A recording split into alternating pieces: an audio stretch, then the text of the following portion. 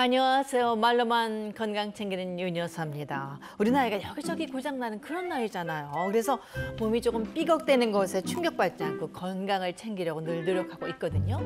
그런데 지혜 원장, 오늘 우리 점심 먹기로 했잖아?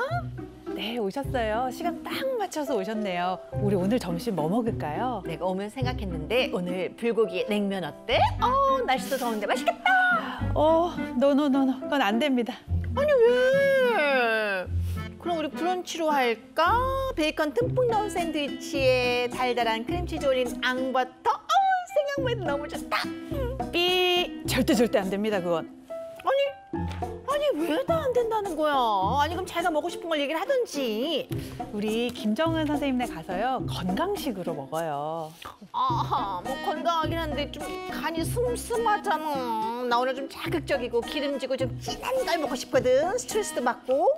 근데 윤 여사님 얼마 전에 건강검진 받으셨잖아요. 거기서 우리 혈관 쓰리고 진단 받지 않으셨어요? 아뭐 그야 그랬지. 그런데 그거랑 이거랑 오늘 점심 메뉴랑 무슨 상관 있어? 이 혈관 쓰리고의 원인이요. 바로 녹슨 혈관 때문이거든요. 근데 그렇게 기름지고 자극적인 음식 드셔가지고 아예 혈관 막혀버리게 하시려고요. 우리 그냥 건강식 먹으러 가요. 아 싫어 싫어 싫어 싫어 우리 그냥 맛있는 거 먹자 아무리 혈관에 문제가 있어도 그렇지 아니 혈관이 녹슨다고 하질 않나 아니 그거 좀 먹는다고 혈관이 막힌다고 겁 주질 않나 말이야 맛있는 거 좀 먹겠다는데 이렇게 겁을 줘서 되겠습니까 선생님들 저의 쓰리고 어, 이 원인 진짜 녹슨 혈관 맞습니까?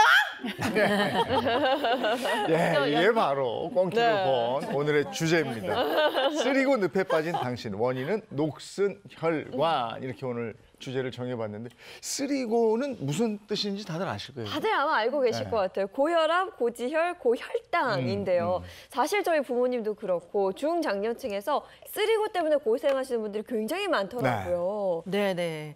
그러니까 세 가지 질병 중에 고혈압이든 고지혈이든 당뇨든 이게 한 가지만 생기면 나머지도 이렇게 언젠가는 쓱 따라오는 것 같아요. 이게 가장 문제점 아닐까 싶어요. 네. 신신혜 씨 콜레스테롤 수치 괜찮으세요? 약을 먹으니까 네. 어. 아주 정상인데요. 어. 네. 고지혈증이 좀 있습니다. 음. 아, 그리고 다른 건 아직까지는 아 없습니다. 그래요. 네. 아, 네.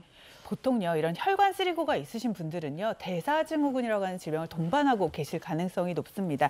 이렇게 되면은 이제 혈관에 나쁜 물질이 쌓이면서 동맥 경화를 촉발하고요 협심증이라든지 심근경색이라든지 심각하면 뇌졸중까지도 유발할 수가 있습니다. 보통 대사증후군을 동반하신 분들이요 심, 심혈관계 질환으로 사망할 위험은요 네 배 정도가 상승하고요 심근경색이 발병할 위험은 68.5배, 와. 당뇨가 발생할 위험은 10배까지도 높아진다고 합니다. 어, 대사증후 군은 정말 우린 얘기를 많이 들어봤거든요. 대사하면 우리 뭐 연극 드라마의 대사는 알고 있죠.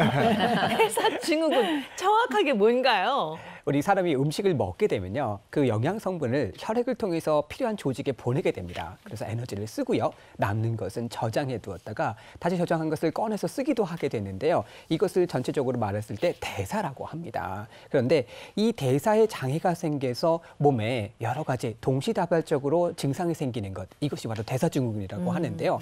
대사증후군은 어, 사망 위험이 높은 공범 질환, 아, 질환의 주범이라고 할 수 있겠습니다. 음. 근데 이 대사증후군 신호를 받은 사람들이 많아요.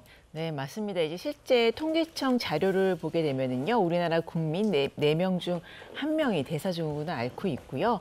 30대만 살펴보면은 다섯 명 중 한명 그리고요, 10대와 10대 이하 어린이에게도 대사증후군이 나타난다고 오. 하니까요. 뭐 누구도 안심할 수가 없는 질병이라고 할 수 있겠습니다. 음. 네.